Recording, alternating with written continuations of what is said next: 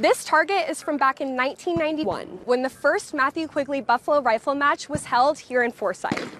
Now, more than 30 years later, the event is still going strong and draws in crowds from around the country. We go out in the cow pasture and shoot old time rifles at metal targets for fun.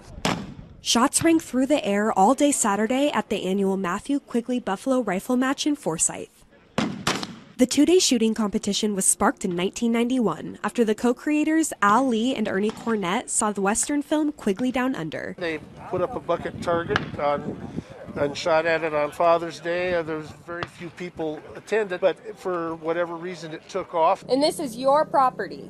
Well, it was, but we're giving it to my children. Lee still attends the events and says he always enjoys seeing the crowds return to his family's property. This year, more than 600 shooters signed up to compete. This is one of the biggest ones we've had for a while. Categories range from first time shooters to father and son or father and daughter teams, and it's all benefiting the Forsyth Rifle and Pistol Club. It allows our club to give away scholarships and do other work for the community, as well as, well, it's a lot of fun. Trent Paffinger is the president of the club. He and his daughter Lauren have been attending the Father's Day weekend event for as long as they can remember. It's just a fun thing, and it's always the Quigley on Father's Day. Another father daughter duo also continues to return year after year. I always want to beat them, even if it's Father's Day. Danica Gamble placed second overall in last year's match, but has some major competition this year her own father. I got a 7 out of 8 on the Buffalo, so.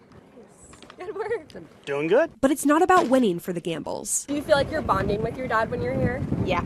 or the Paffingers. It's great family time. I, I love spending time with my daughter. Yes. Hopefully, she I do too. likes hanging out with me once in a while. It's simply about spending time together as a family while benefiting the small town. It's just turned into something amazing for a little old Forsyth, Montana. In Forsyth, Kelsey Marison, MTN News.